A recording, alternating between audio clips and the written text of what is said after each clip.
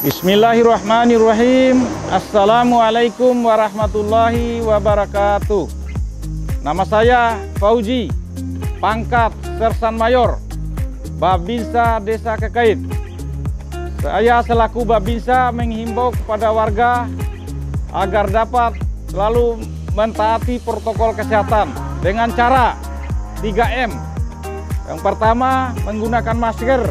Yang kedua dengan mencuci tangan dengan sabun. Yang ketiga, selalu menjaga jarak.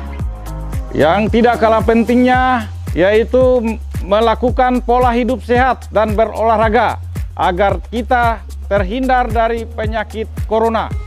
Demikian imbauan ini agar sama-sama kita mentaati. Billahi taufiq wal hidayah. Wassalamualaikum warahmatullahi wabarakatuh.